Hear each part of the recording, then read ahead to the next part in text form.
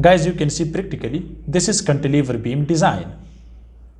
So I will guide you for a steel reinforcement details. So let's get started guys. Length of this beam is 7 feet. Depth is 18 inches. Width is 12 inches. With concrete cover. Here guys we have total 10 steel rods. Dia is 16 millimeter.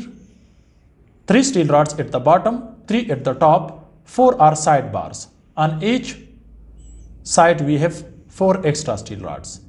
As you can see stirrup, uh, stirrup spacing and its steel reinforcement details.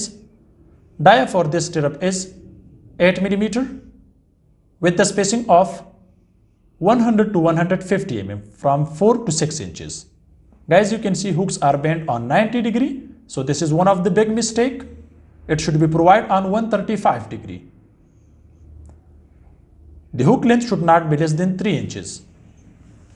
Guys, you can see clearly at the end of this beam is stirrup is 6 inches spacing. Guys, this is not the proper design of this cantilever beam. Only we have side bars. Guys, you can see this is simply supported beam 6 steel rods, 3 at the bottom, 3 at the top, dia is 16 millimeter, stirrup dia is 8 millimeter with the spacing of 8 inches from 6 to 8 inches. Hooks are bent on 90 degrees same. So for cantilever beam we should use the proper steel structural design.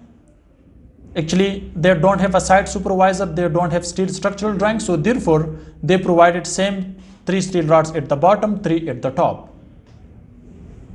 On the other hand guys you can see here this is simply supported beam.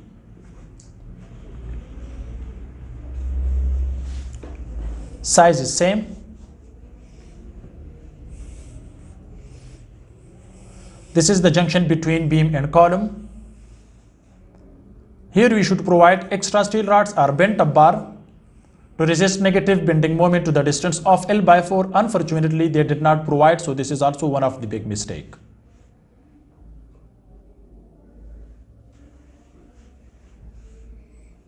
As you can see clearly,